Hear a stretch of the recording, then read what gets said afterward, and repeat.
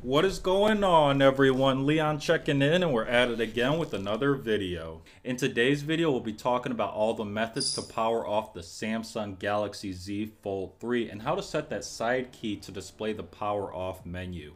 Now depending on the device you're coming from, powering off the Z Fold 3 may seem a bit out of the ordinary or it may seem normal. Now for me, I'm coming from a Pixel device, which is the Google phone, and the side key is the power key by default. Now when it comes to that side key on the Z Fold 3, it's set to activate Bixby by default. Now Bixby is nice, it seems to work really well, but you may want that side key to function as a standard power off button. Now the Z Fold 3 is featured on the Samsung playlist, so you can find information related to this topic quickly and easily. As for today's video, it was filmed on the Google Pixel 5a 5G and edited on the Google Pixelbook Go using the Power Director app from the Google Play Store. This allows us to put all the devices we review through real world usage so you can see real world results. As always, we only feature products or services I buy, use, or am interested in.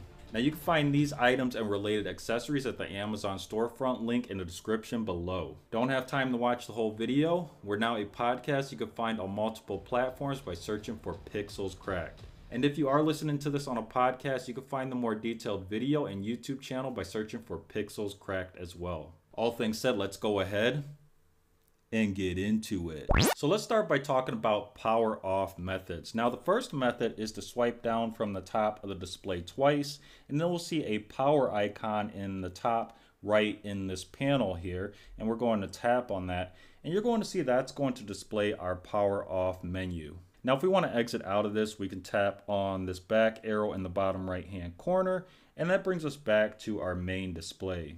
Now the second power off method may be a little bit tricky if you don't do it right, but you're going to want to press and hold on the down volume key and the side key at the same time. And then that's going to display our power off menu as well. And again, to exit out of here, we can tap on that back arrow in the bottom right hand corner.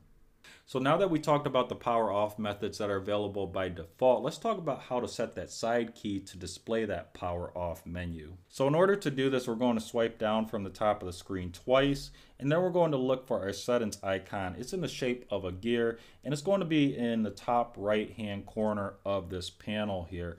So we're going to tap on that. Next, we're going to scroll down to advanced features and then tap on that as well. Now moving on to the right side of the display here, we're going to scroll down until we see side key and we're going to tap on that. And now we're going to look for the sub menu titled press and hold. And you can see that we have wake Bixby. Again, that side key is set to activate Bixby by default. But if we want to change it so that it activates the power off menu, we're just going to tap on that option and it's going to highlight that circle blue.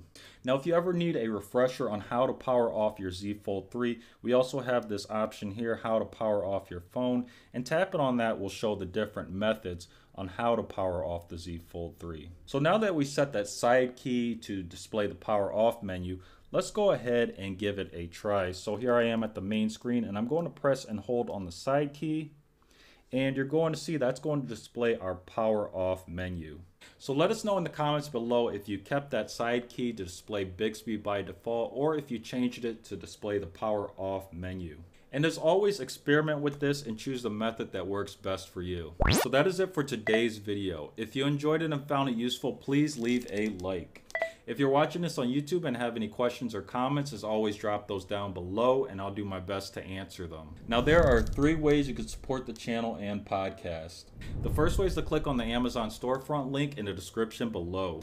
There you'll find items that I have bought or would like to buy, and anything you buy from the storefront does support the content. The next way you can support us is just by sharing this content with someone who might enjoy it or find it useful. And the last way you can show your support is just by clicking the subscribe or follow button. Now liking and subscribing are important. Those are your ways to vote on whether you like the video or the podcast. Liking and subscribing are also important for new viewers and listeners. If new viewers and listeners see likes and subscribers, they're going to think that the content is helpful, worth watching, and listening to. So that is pretty much it. And until next time, Leon checking out.